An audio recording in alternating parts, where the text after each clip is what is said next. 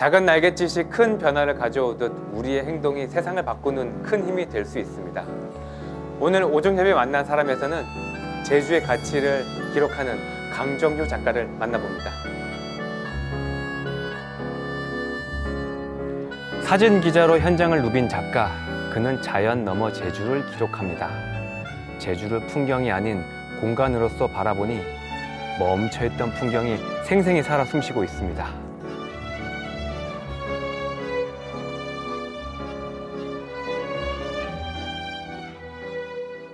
안녕하세요.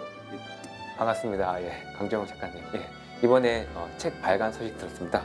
제주 아름다운 너머. 예. 근데 이게 2016년도에 전시 그때 할 때 이름으로 했었는데 이 이름으로 다시 이렇게 하셨어요. 예. 2016년도에 서울에서 전시를 했었죠. 많은 사람들이 제주도 이야기하게 되면 풍경을 풍광만을 이야기하는데 제주도에도 엄연하게 사람들이 사는 곳이고 그 제주에 사는 사람들의 이야기까지도 한번 좀 관심을 가져달라 뭐 이런 당부의 의미로서 사진전을 했었고 이번에 책으로 펴내게 됐죠. 제주 사람들이 쓴 글이 거의 없거든요. 결국 조선시대에는 뭐 목민관, 관리들 아니면 유배 같은 사람들 다 외지인들이죠.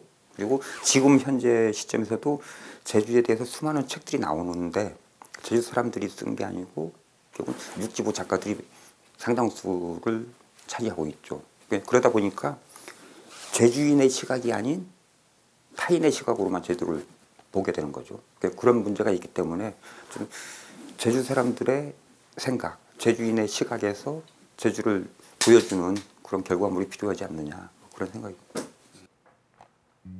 어제이자 오늘, 오늘이자 내일이 될 제주의 이야기. 작가는 곳곳에 스며든 문화를 사진에 담아 글로 풀어 넣었습니다. 누군가는 멋지다 감탄하며 바라볼 풍경에서는 사람들이 쌓아온 삶의 이야기가 들려옵니다. 개발로 변해가는 요즘, 작가는 사진으로 제주의 정체성을 이야기하는데요. 무엇이 제주를 지키는 것인가? 제주다움을 간직하는 게 어, 뭐 어떻게 하는 게 가장 나은 방법인가? 저는 그 이런 예를 많이 듭니다. 그 1960년대에 한가산 백록당 분화구안에 천평짜리 호텔 계획이 있었어요. 그, 그 당시에는 뭐라고 했냐면은 그 산악 관광 활성화를 통해서 지역 경제를 살리자. 요즘 우리가 개발 얘기하면서 하는 똑같은 얘기죠. 여기서 제가 묻고 싶은 게 만약에 백록담에 천평짜리 호텔이 지금까지 있었다. 그러면 한라산이 우리가 그렇게 자랑하는 세계 자연유산이 될 수 있었겠느냐. 결국은 무엇이 남는 것인가, 무엇이 장기적으로 제주를 위한 것인가, 이런 부분에 대한 고민들을 많이 해야 된다. 작가는 제주를 아는 만큼 보이는 섬이라 했습니다. 제대로 보고 제대로 알리기 위해 시작한 작업. 사진과 글을 하다 보니까 그런 생각을 많이 가져요. 그 작품 작가로서 접근하는 부분도 있지만은 그 시대 기록자로서 그, 그 시대상을 보여주는 뭐 이런 작업도 많이 생각을 하고 있는데 지금 현재의 모습들 앞으로 지속적으로 그 작업들을 계속 해 나가야 되겠죠. 살아 숨쉬는 제주를 기록하는 강정효 작가를 응원합니다.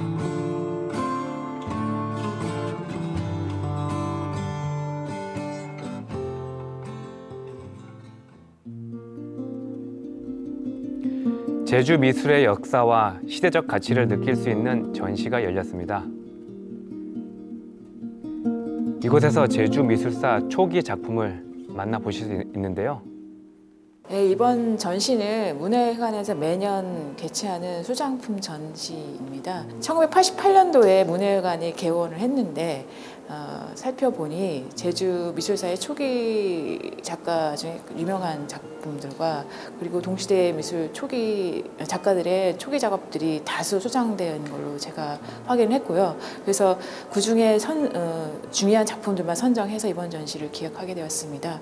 전시를 통해서 제주 미술사 를 정리를 해보고 어, 향후에 어, 제주 미술의 전반적인 어, 작업에 대한 재조명하는 계기가 되길 기대합니다. 동시대를 살며 함께 화폭을 물들여온 작가들. 제주 작가 62명의 각자 다른 개성과 뚜렷한 작품 세계를 직접 느껴보세요.